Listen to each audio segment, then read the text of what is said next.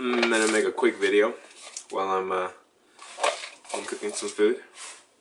This is a late lunch, early dinner, I guess. No, it's just a late lunch. Screw that. I'm not not deleting dinner because of this. Mmm. Mmm, ciao. Anyway, I know everyone's seen the video already of the elderly gentleman being kicked off the flight. Kicked off the flight. Kicked, basically. Dragged off the flight. How do I do this?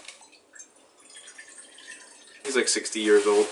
Um, being kicked off the flight off United Airlines.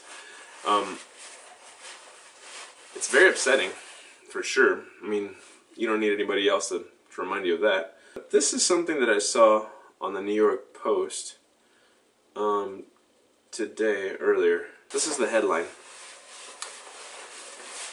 It's like, it's like, this is what you want to make your headline?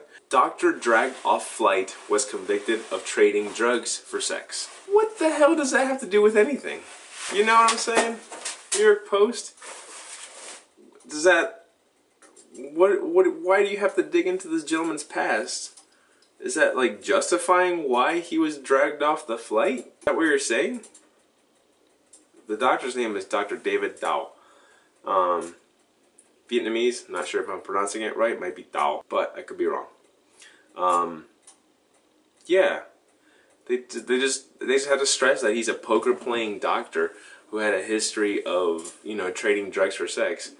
That's fine. I mean, that's maybe say that for later, but like a day or two after you find out of this whole event happening, I mean, that's just that's unnecessary. It's like it's basically like saying, all right, somebody um, got run over by uh, a cop car, but that person 10 years ago or whatever, I don't know, however long, was also convicted of, um, of money laundering, whatever, you know.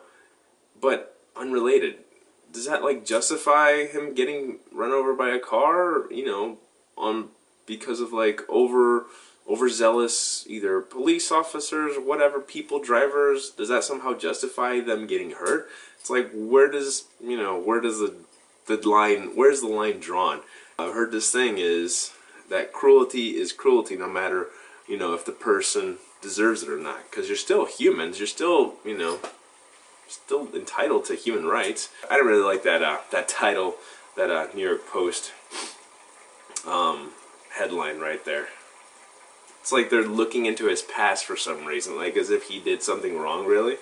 I mean, even if the airlines are legally allowed to eject people off of off of things, um, off of flights. I feel like there's really no need to do it that harshly. Yeah, I feel like it's not. You know, it, it's it's definitely messed up. It's definitely messed up. I mean, who knows? Maybe he was cursing at them. We don't know the entire story yet of like what happened. Maybe the doctor he was like cursing at them. You know, who knows? He may have told them to eat their own penises or something. Who knows? Whatever.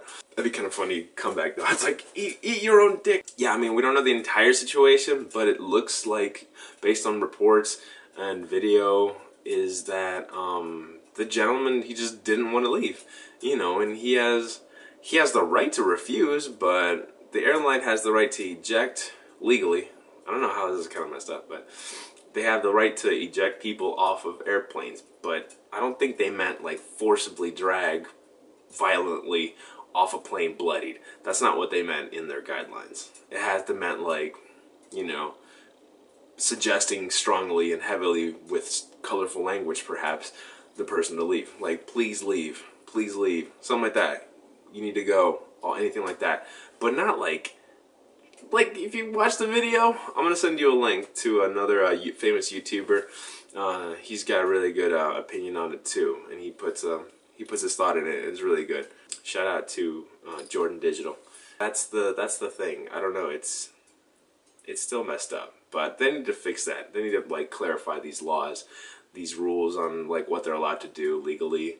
Because it's I mean that's not right. I mean the dude's an old guy. I mean leave him alone. You know who cares if he had like a history of like a shady history. You know. Um, it's not the right time to bring that up. I mean, you can wait like a month and something and bring that up later. It's not going to change anything. It's not going to be like, oh, never mind. He did some shady stuff in his past, selling drugs for sex. Then it's okay that he got bloodied and beaten up and thrown off a plane. No, that's not. That's not a valid argument. That's not logic right there. That's not common sense. That's just I don't know, media maybe. Who knows? Nah, not cool. New York Post. Not cool. You can do better than that. I've seen you do better. But yeah, that's it for today. I think right now. Have a good day.